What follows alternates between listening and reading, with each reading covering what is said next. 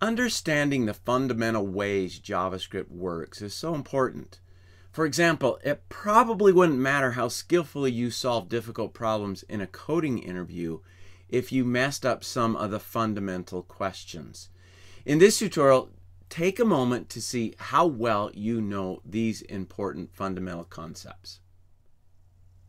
Welcome to another tutorial from All Things JavaScript. As always, make sure to click that bell button and subscribe.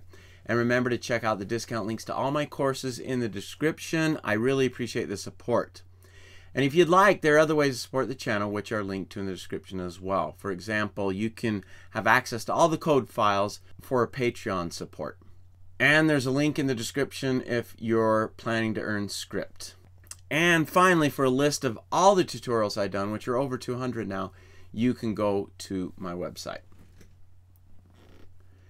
I recently looked through a Medium article written by Alison Quaglia. I'll link to it in the description. I encourage you to read it. She did a great job at identifying some of the tricky fundamentals that are part of JavaScript. We're going to cover some of these same fundamentals that I see as very important. But check out her article. She covers more than I will here. Now, I'm going to use the same approach Alison did. I will show you a bit of code and then give you a chance to figure out what it does or what it's going to display on the console. If you need to pause while you're figuring it out, do so. And then we'll talk about it and talk about the concept associated with it. All right, let's take a look at that first bit of code that we're going to deal with. Now this bit of code deals with asynchronous code in the set timeout command. So we have a function, show numbers, and we're just logging stuff to the console. But two of those logs come from a set timeout. So what is the order of the numbers that will be logged to the console when show numbers is called? That is the question. And let's go ahead and take a look at what that is in the console. I'm going to open that up and we get 1, 4, 3, and 2. So if we jump back to the code here, obviously this line logs first. Then when we hit this line, it is a set timeout feature. Set timeout is handled by the browser. And so that timing starts happening by the browser.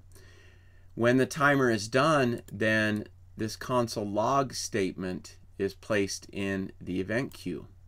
And when no other JavaScript is running, it will then log that. So it does that line. The next line is also set timeout, so it begins doing that timer. But the time is set to zero, so the timer expires immediately. Then this is added to the event queue. So you might think that this console log statement would happen before this, but it doesn't because the event queue needs to wait until this JavaScript is done before anything in its queue will be executed. So console log happens first, and then this is the first thing in the event queue that happens, and then this one happens. So that's why we get 1, 4, 3, 2. And as we go through a lot of these concepts, I have tutorials on them that I will link to as well.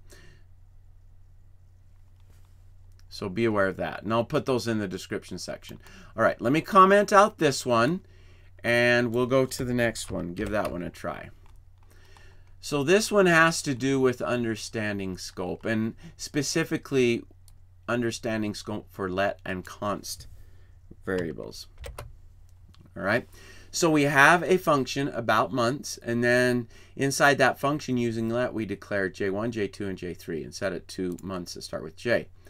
I then have to have a function declaration inside of this function expression, J months, and that declares a variable using let and sets it to May, and then it logs to the console. Then we have a console log statement here that is using the variable declared here, and then we invoke this declaration. So what is going to display the console? What are we going to see? And once again, pause if you need to. Let me go ahead and refresh and we'll see what we get. We get a reference error. Short month is not defined. So short month is not available for this particular console log statement. And so we get a reference error. Now, would it change things if we moved this up here like that? Let's find out.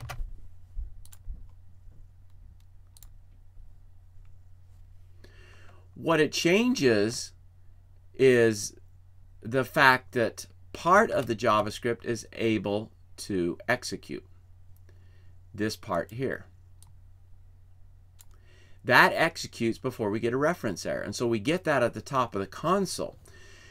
But even though this was declared, remember because it's a let variable, its scope is that function. And that's all. And so it's not available outside of that. And so we still get the uncaught reference error. Short month is not defined when we try to do this console log statement. Okay? Number two, we're doing a total of four of these, so just so you know how long I'm going at this. Okay, down to number three. This has to do with how JavaScript establishes its execution context when uh, first JavaScript starts running. All right, now notice how we have this set up.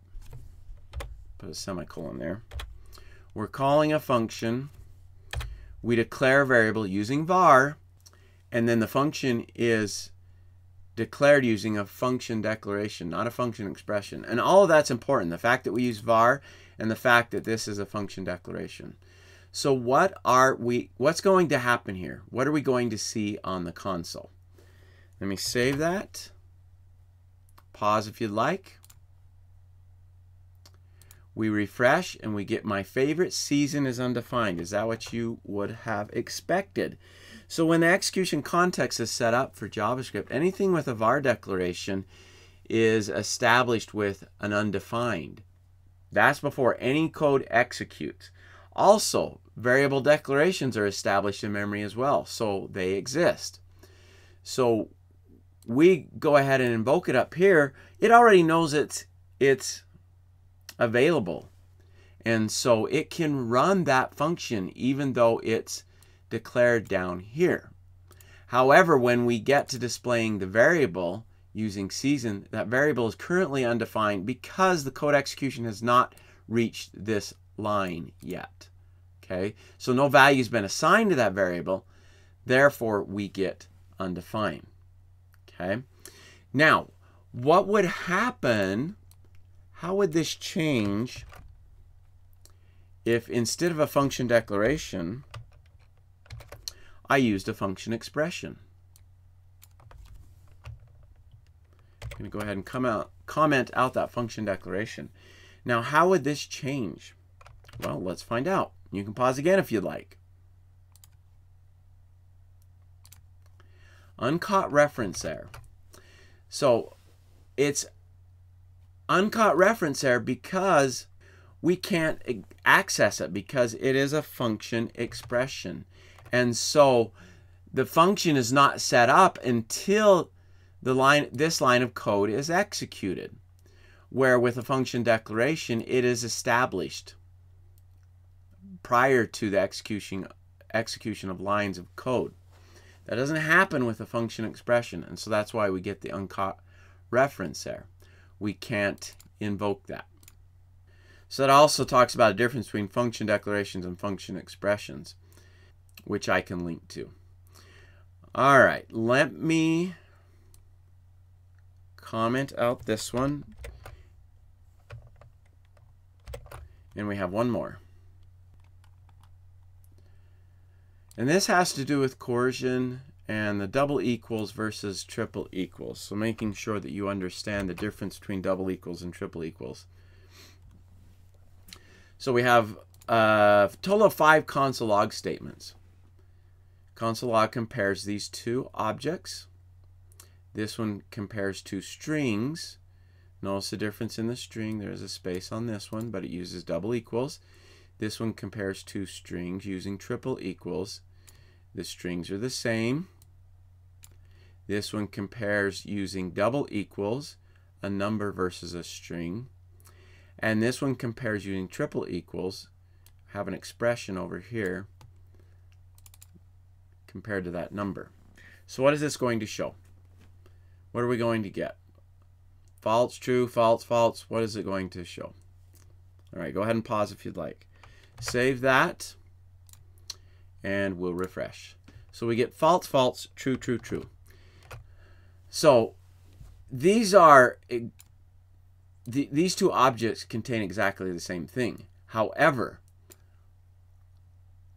objects are established in memory and then only the reference is kept. And so the two references are different because they're two separate objects. So they're not equal to one another because they are two separate objects. So we get false. And even though we use double equals, this string is still not the same. There is a space in this string. So we get false. Now these two strings are exactly the same, including, including the case. So uppercase J, uppercase J, uppercase F, uppercase F. So those are true. Now this uses the double equals. So with double equals, we can see coercion happening. And so it comes back as true that these two things are equal because the types can be coerced with double equals. And like I said, I can link to a tutorial on explaining this as well. And then finally, this is true as well. Because this expression is handled, it comes back with 900, and those two numbers are equal to each other, even with triple equals. So we get a true with that as well. All right, so how did you do with that? Let me know in the comments. Hopefully you did really well. And if not, hopefully you understand the reasons why things are happening the way they are with this code. These are important fundamentals, things that sometimes we forget when we're just getting into solving a problem in JavaScript, but these are important to remember. So hopefully that was helpful. All right, please hit that like button and subscribe. And remember the discount links to all my courses in the description section. Click that bell button to be notified about new releases. I really try to release a new tutorial each week. And thanks for watching.